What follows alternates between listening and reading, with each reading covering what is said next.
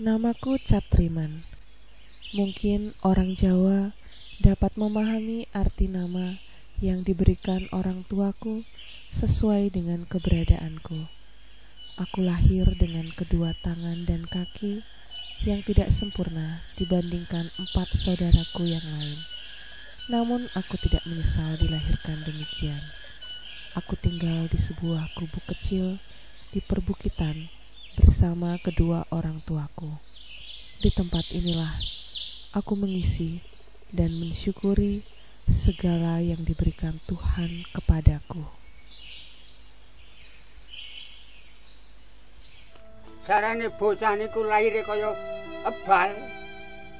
Monggo akhirnya gede tua ya mesti bocah iki wis ora ora kereh apa-apa. Dadi tak jenengi catriman sarene cacat iki tak jenengi catriman wae tur cacat ning aman. Lah ya niku wacandaan karo kula. Nggih nggih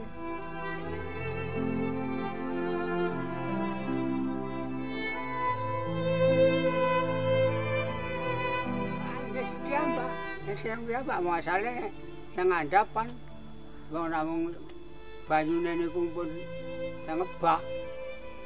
Lah niki merak mergo teng bulan bulan banyune jalan atusan sumur.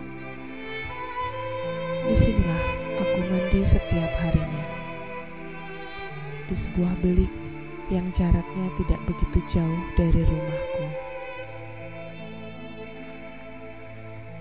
Untung airnya tidak dalam sehingga aku bisa mandi menggunakan gayung airnya cukup bening dan segar.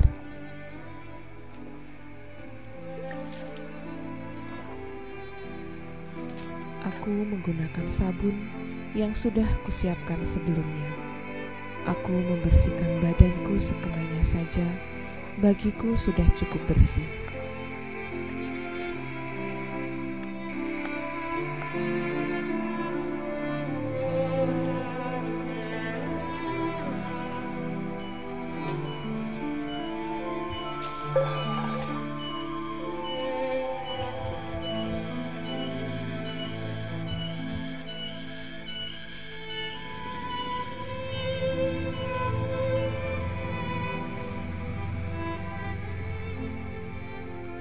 Setelah mandi, aku berjalan merangkak pulang, menaiki bukit kecil, melalui jalan setapak yang dibuat orang tuaku. Memang tangan dan kakiku kotor lagi, tetapi tidak mengapa. Yang penting badanku sudah terasa segar.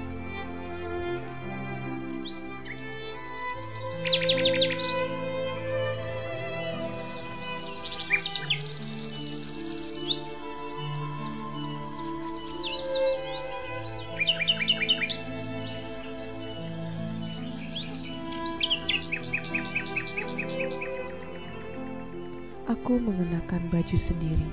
Sejak kecil, aku belajar mandiri supaya tidak merepotkan kedua orang tuaku. Awalnya sulit, tetapi lama-kelamaan menjadi biasa. Ini tempat tidurku. Di sinilah aku beristirahat.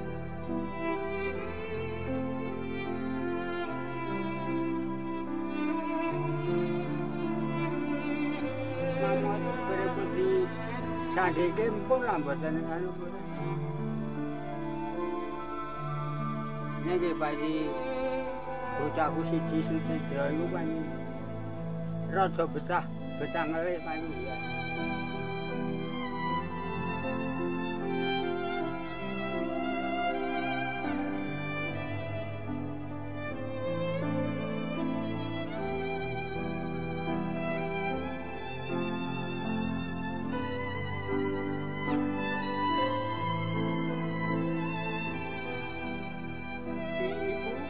Mangkok niku sadinane iki. Pun suwe niku jaman mangkok niku. Ya pun asal kathah kok ya. Wong asale di tiap bahane niku telas dijujuki kali suster. Kertase niku korane.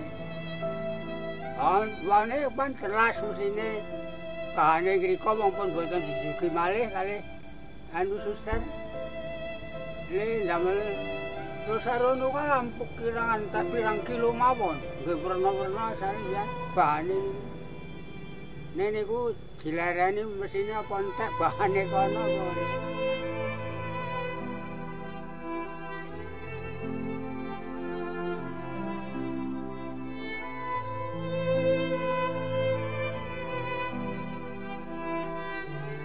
inilah hasil karyaku hari-hari saya ini. Saya ini rosario ini sudah distorkan yang lalu ini yang sisa ini buat contoh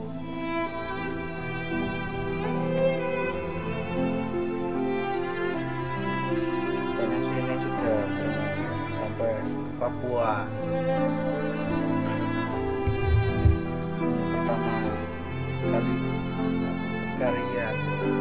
Sepatu inilah yang menemaniku setiap harinya. Aku membuatnya dari ban bekas. Kegiatanku lainnya adalah mencari kayu bakar.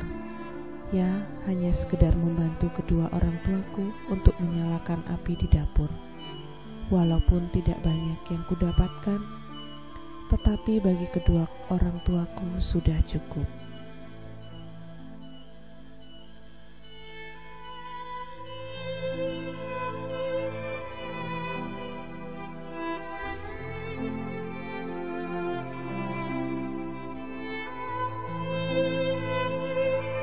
Selain itu, aku juga mencari rumput di sekitar rumahku untuk beberapa ekor kambing peliharaanku.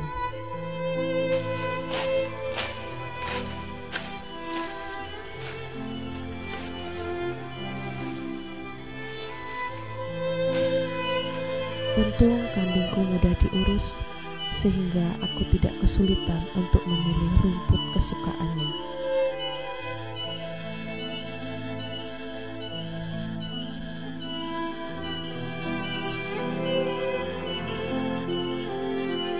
Kerinduanku untuk bertemu Allah di gereja juga kerap mengusikku. Pernah aku berjalan menuju gereja Laverna yang jaraknya cukup jauh. Saat itu Padang Bulan belum memiliki gereja sendiri seperti sekarang. Dengan sekuat tenaga, aku berjalan dengan keterbatasanku. Aku tidak putus asa walau jarak yang sangat jauh. Namun aku bisa bertemu Yesus. Tuhan itu luar biasa bagiku. Banyak orang yang baik hati memberi perhatian, mau mengantarkan aku pulang. Untuk menjadi orang Katolik ternyata tidak mudah. Banyak tantangan yang harus aku hadapi. Dalam keluargaku, aku menerima sakramen baptis yang terakhir dibandingkan saudara-saudaraku yang lebih dulu. Aku masih ingat Waktu itu ada suster yang datang ke tempatku untuk mengajari bagaimana menjadi orang Katolik yang baik. Lama waktu berjalan dan akhirnya aku diperkenankan menerima sakramen baptis dan sakramen komuni. Tuhan Yesus, siapakah aku ini? Sehingga engkau masih memperbolehkan berkarya walaupun kecil. Walau di mata orang aku berkekurangan, tetapi aku percaya bahwa Engkau memberikan kelebihan di balik kekuranganku.